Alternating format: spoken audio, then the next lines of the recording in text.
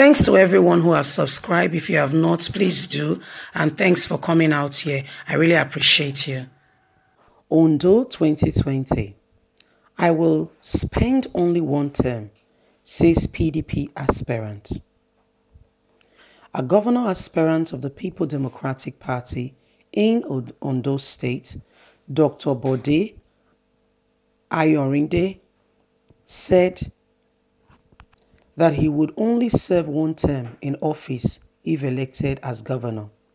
This, he explained, was because he would be completing the tenure of Governor Oluwarotimi Akeredolu as part of them hailed from Owo, Ondo North Central District. Mr. Ayorinde said he, he ought to work closely with Governor Akeredolu to move the state forward, but all his intentions were replied. Ayorinde stated that he was chosen out of all Progressive Congress by Akeredolu despite his several plea to him to be Ayorinde stated he was chosen out of the All Progressive Congress by Akeredolu despite his several plea to him to be magnificent in victory and tolerant to all of them that contested against him at the party's primary.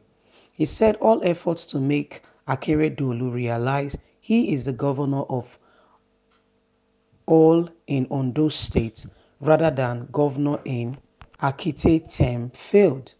The People Democratic Party governorship hopeful noted that the present reality in the state and the emergency fact have rekindled his genuine concern that achieving a great and prosperous Ondo state is a stake that must be accomplished.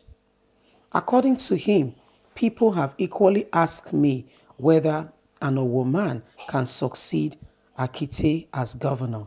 My answer has been emphatic no but that is only fair and just for an woman to complete his expected term of office. Therefore, my honest intention is to complete the term due to Olu through the mandate of the good people of Ondo State, and I'm prepared to give our leaders in PDP a written undertaking to that effect. Ondo State, the fifth among the nine oil producing states in the Federation, deserves better leadership. Given the opportunity to serve, my mission is to industrialize Ondo State, create wealth, and provide genuine employment for our citizens. That has been in my concern, my consistent sermon, and my mission in government. So, first, on my priority list is to industrialize. Second is to industrialize. And third is to industrialize. I must acknowledge the fact that many of the aspirants from Ondo Central and Ondo South are eminently qualified to govern the state. However, they must be appealed to and allow us finish our two term in Ondo North.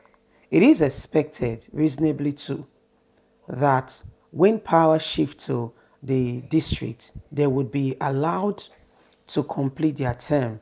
Very logical and desirable to so, so think and act. This decision was reached after a very wide consideration coupled with strong conviction that I can make a positive difference. After 44 years of its creation, Ondo State must stop crawling.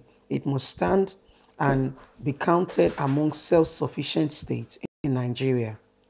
As I present myself for genuine service with the fear of God, I appeal to all indigents and residents of Ondo State to stand by me towards rebuilding our dear Sunshine State. And like I have said before, I will only rule for one term. I will not come and ask for a second term.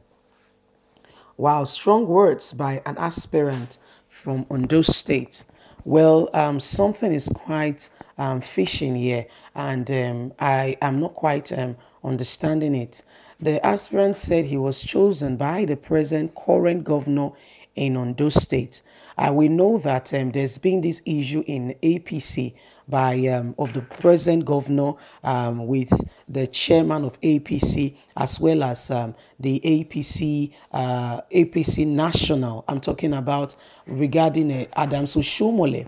Adams Oshiomhole and um, the APC national had an agreement, according to what we heard, that himself, uh, Akeredolu, and um, as well as um, Akeredolu, as well as um, Governor Godwin Obaseki of Ondo State will have their two terms according to um, what we heard from the APC. They will both have their two terms in office, and afterwards they will be allowed, you know, because they've they've they've done well you know, um, Akeredolu and um, Governor Godwin Obaseki are two governors that, um, like we heard, are not, you know, quite um, very much there with the person of, um, with the person of uh, Governor the person of the chairman of the party. We're talking about the person of Adams Oshiomhole. Uh, that Adams Oshiomhole was not very happy, I don't know, has not been happy with Akeredolu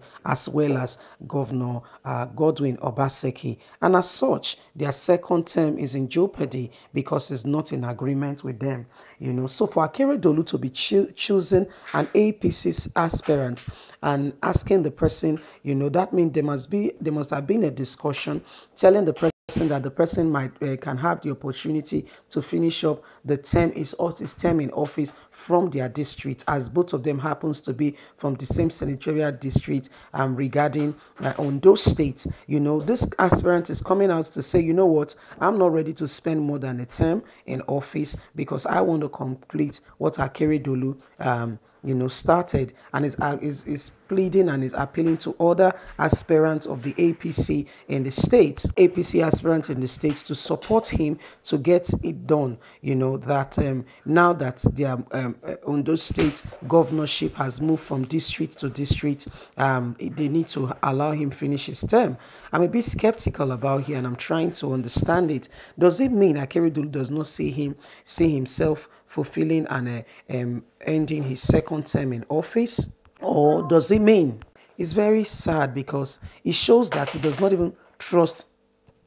It shows that he does not even trust his own um, PDP. Uh, um, he does not even trust his own APC um, aspirant and his own APC person, saying that since he has gone to choose an a PDP aspirant in Ondo State, asking the person to finish his term in office, you know, since they are from the same senatorial district, does it mean that there is something fishing or Akeredolu does not trust APC anymore? And so he's moving the baton and he's moving the everything now to uh, to PDP, you know, or does this not concern you? You know, I'm quite concerned about um, what I'm hearing here it, it sounds very suspicious to me that um, this is going on and um, you know, Akeredolu, according to the news we heard, the, the guy said he was chosen by the governor, you know, he was chosen by Akeredolu himself, you know. So it's very, it's very, it's very unsettling. It shows that um, he's not even confident that he might finish his term in office and that um, he might not, you know, and he's asking the people. He said he can even go as far as signing uh, a, statement that he's not going to do more than one with the PDP, um, with the PDP, with his party, PDP. So Akeredolu is not even choosing, he's not even picking someone from his state, from his party to complete his tenure.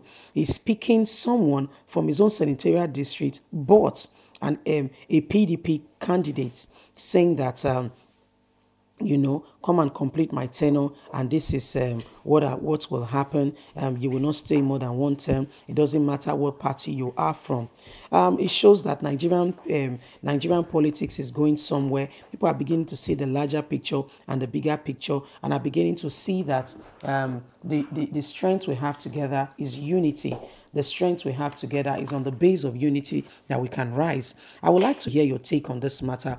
I would like to know what you think about uh, this issue. You know, a, PDP candidate saying he was chosen by Kerry Dolu to complete his tenure in office, and um, in completing the tenure, they will be completing the senatorial district uh, two terms in office. Does it mean that Dolu has given up on politics or has totally given up regarding his um, election and um, you know let's hear what your, your thoughts are. Thanks for listening. God bless. Bye